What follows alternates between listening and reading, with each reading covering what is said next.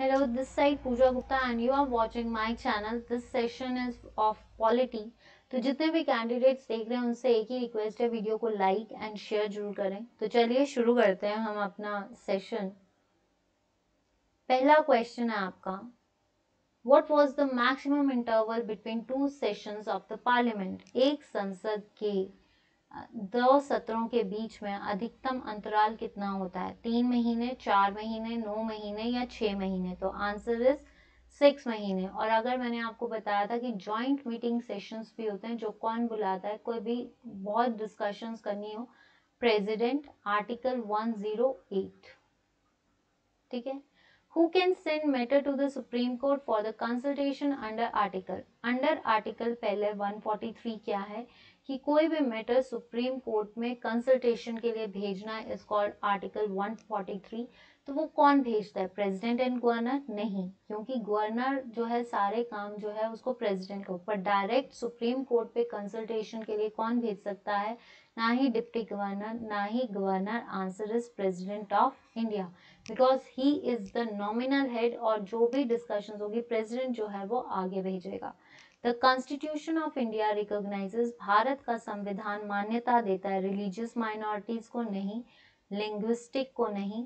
Religious and linguistic minorities या religious linguistic and ethnic तो अगर देखा जाए जो आपका कॉन्स्टिट्यूशन ऑफ़ इंडिया है वो जो है आपकी बेसिकली जो है वो रिलीजियस एंड लिंग्विस्टिक माइनॉरिटीज को जो है देता है, लेकिन कास्ट को भी देता है। बेसिकली कास्ट को भी देता है। तो अगर बात की जब वहाँ पे तीनों ऑप्शंस दी गई हैं, धार्मिक, भाषाई और जाति तो तीनों को जो है इम्पोर्टेंस देता है। अगर किसी को क्वेश्चन पे डाउट होगा, अगर वहाँ यहाँ पे कास्ट नहीं होता तो राइट ऑप्शन इज़ दिस कुछ और होता लेकिन इन तीनों को मान्यता देता है। आपने देखा नहीं अभी रिजर्वेशन मिली है। ठीक है? To have a speedy justice flows from which of the following articles of the constitution of india त्वरित न्याय की प्राप्ति भारतीय संविधान के किस अनुच्छेद से निकला है? आर्टिकल 19, 20, 21, 22 ऑल आर दीज जो हैं, ये आपके फंडामेंटल राइट्स हैं तो आर्टिकल 21 से निकला है ठीक है? आर्टिकल 21 से जो है, आपका ये स्पीडी जस्टिस जो है, निकला है। Uniform civil code mentioned in the directive principles of state policy of Indian constitution ensures economic equality national integration national security या नन ऑफ़ दीज तो अगर देखा जाए, आपका जो uniform civil code mention in directive principles Irish से लिया, Ireland से लिया है, फोर्थ पार्ट है तो 36 से 51 तक डील करता है। तो इसमें क्या आएगा कि जो यूनिफॉर्म कोड है, यानी आपका एक समान न्यायिक संहिता, वो सबको एकत्र की करने की बात करता है, राष्ट्र की एकता, यानी national integration who decides the disputes regarding the election of the president of India president के चुनाव के लिए कौन डिसाइड्स करता है? सुप्रीम कोर्ट नहीं पार्लियामेंट नहीं. It's the election commission of India जो आपका डील करता है कौन? पार्ट 15 ठीक है? 323 से 329 तक डील करता है और कौन है इस टाइम के हमारे इलेक्शन कमिश्नर सुशील चंद्र। ठीक है? कितनी? एज सिक्सटी फाइव और सिक्स इयर्स का tenure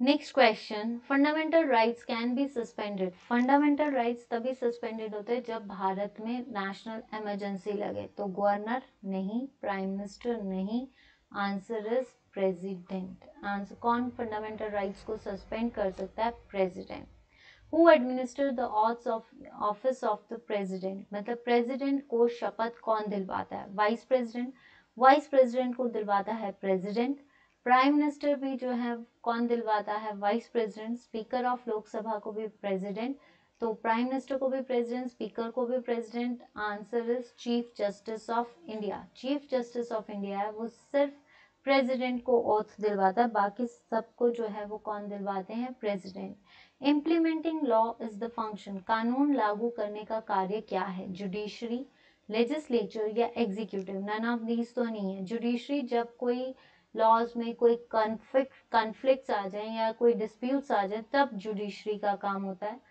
लॉज तभी इम्प्लीमेंट होंगे जब कोई काम करेगा। तो वो क्या है? लॉज इम्प्लीमेंट होंगे on only on the basis of legislature implement करना जब लॉज बन गए। लॉज को बनाने का काम है लेजिस्लेचर का। उसको इम्प्लीमेंट करने का काम किसका है? एग्जीक्यूट यहाँ पे इम्प्लीमेंट करना तो तब कानून तभी बनेगा जब पहले उसके लिए ढांचा तैयार किया उसके बाद वो इम्प्लीमेंट तभी होगा जब उस पर स्टैंप लगेगी। स्टैंप कौन लगाता है? प्रेसिडेंट तो एग्जीक्यूशन का काम कौन करता है? President what is the maximum number of the members of the Rajya Sabha Rajya Sabha article 80 six years का टेन्योर थर्टी इयर्स एक मेंबर को चाहिए।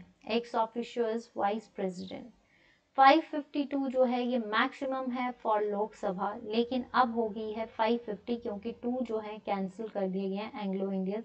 अब नहीं चुने जाते एज पर 104 अमेंडमेंट ठीक है? अब है कितने? 545 ये लोकसभा के हैं, लेकिन अब हो गए हैं 543 क्योंकि टू कैंसिल कर दिए।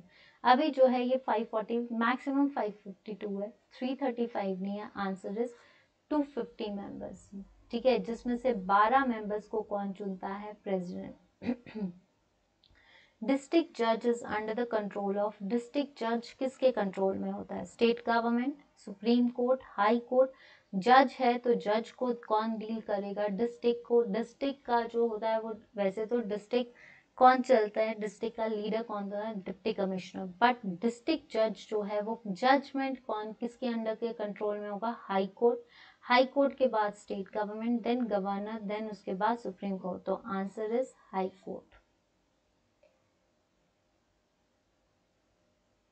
Next question who permits the formation of new state in India as per the देखिए, ये किस आर्टिकल में आता है? आर्टिकल थ्री आर्टिकल थ्री में आता है, जिसमें प्रेसिडेंट जो है, ये fifty two part four fifth supreme court one twenty four आपका प्राइम मिनिस्टर जो है, जिसमें seventy four seventy five articles आते हैं, जिसमें ये बताया जाता है कि प्राइम मिनिस्टर जो है, पहले प्रेसिडेंट मेजॉरिटी पार्टी के लीडर को बुलाता है देन काउंसिल्स जो हैं एट जो है वो प्राइम मिनिस्टर जितने भी कैंडिडेट्स हैं प्राइम मिनिस्टर की बेसिस पहले चुनेगा और फिर उनको प्रेसिडेंट को एडवाइस करेगा। फिर काउंसिल जो है, वो आपकी आती है सेवेंटी फाइव में answer is ninth parliament article three में।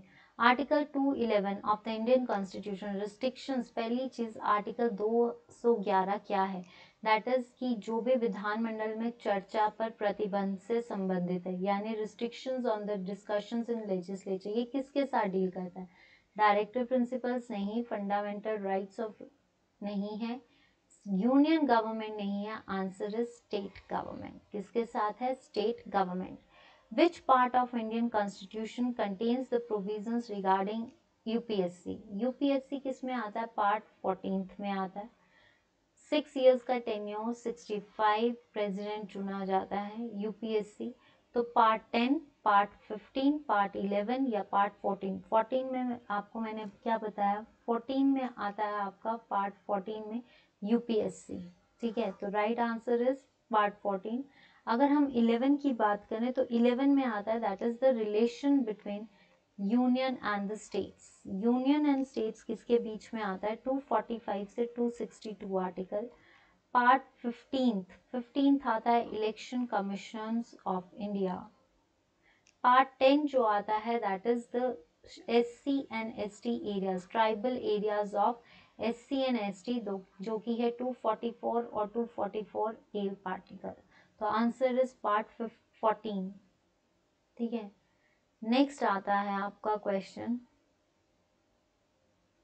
Which of the following article is related to the salaries and the allowances of the जजेस ऑफ़ द सुप्रीम कोर्ट तो सुप्रीम कोर्ट की जो सैलरीज हैं या वेतन है, उन और भत्ते से कौन सा आर्टिकल संबंधित है? आर्टिकल 126, 125, 128 या 124 124 तो सुप्रीम कोर्ट के बारे में बताता है। नेशनल जुडिशियल कमीशन के बारे में बताता है। तो ये सारा जो है सुप्रीम कोर्ट बताता है। 128 आर्टिकल्स जो है that is the attendance of जजेस फॉर होल्डिंग मीटिंग्स ठीक है? तो ये नहीं है। 125 और 126. 126 बताता है that is the appointment of acting chief justice ठीक है? तो ये नहीं है।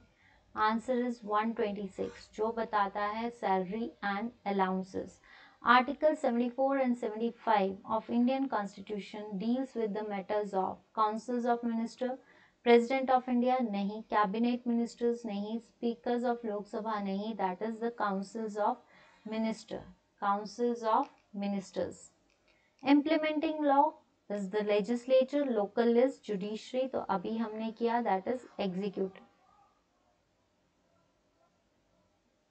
ठीक है? तो आज के लिए इतना ही। पॉलिटी का सेशन जो है इतना ही है। तो ये सेशन अगर आपको अच्छा लगा तो प्लीज़ स्टूडेंट्स शेयर कीजिए। अभी जो है ये छोटे छोटे सेशन है क्योंकि रिकॉर्डेड क्लासेस हैं। जब आपका सपोर्ट मिलेगा, आपके सपोर्ट से ही मैं लाइव क्लासेस में आऊँगी। तो पहली चीज़ है, अगर आपको सेशंस अच्छे लग रहे हैं तो डू शेयर द वीडियोस और अगर आपको पढ़ाई अच्छी, कोई डाउट होता है तो प्लीज़ माफ़ करना, या कोई गलती हो जाती है बोलने में, तब भी माफ़ करना। पर अगर कंटेंट अच्छा लग रहा है तो आप हो तो मैं हूँ। तो अगर आपको मेरा कंटेंट अच्छा लग रहा है तो प्लीज़ वीडियो को लाइक शेयर और अपने जितने भी फ्रेंड्स हैं जो वीडियोस की वेट कर रहे हैं और जिनको अभी तक पता नहीं है। मेरा सिर्फ़ को एक ही मैसेज है कि उनको कन्वे कीजिए कि क्लासेस शुरू हो चुके हैं। उनको इस चैनल के बारे में बताइए जिनको पता नहीं है।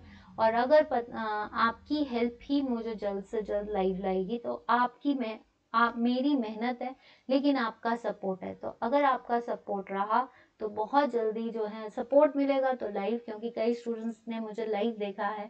तो अगर आपका सपोर्ट मिला तो मैं लाइव भी आऊँगी बट वो आप पे डिपेंड करता है। तो जितना हो सकता है वीडियो को लाइक शेयर एंड सब्सक्राइब कीजिए, क्योंकि जब आने वाले बहुत इंपॉर्टेंट पेपर्स हैं जिनमें मैराथन्स लेना बहुत ज़रूरी है। On Facebook page follow me as Pooja Gupta page on YouTube Pooja Gupta on Telegram Pooja Gupta channel let's learn with me तो आपका सपोर्ट मेरी inspiration as always I said please subscribe like and share अगर कोई गलती होती है तो माफ़ी चाहूँगी हाथ जोड़ के, लेकिन अगर आपको कंटेंट और पढ़ने में मज़ा आ रहा है या मेरे पे थोड़ा बहुत भरोसा मैं अपनी तरफ़ से तो हंड्रेड परसेंट कोशिश करूँगी कि आपकी हेल्प कर सकूँ। बाकी भगवान मालिक है बट अगर आपका सपोर्ट है तो मैं पूरी कोशिश करूँगी तो प्लीज़ अपना सपोर्ट देना मत छोड़ना। और दूसरा चैनल को जितना हो सकता है सब्सक्राइब लाइक एंड शेयर कीजिए। Pooja Gupta let's learn with me आपका सपोर्ट मेरी इंस्पिरेशन लेकिन अगर आप नहीं तो मैं भी नहीं.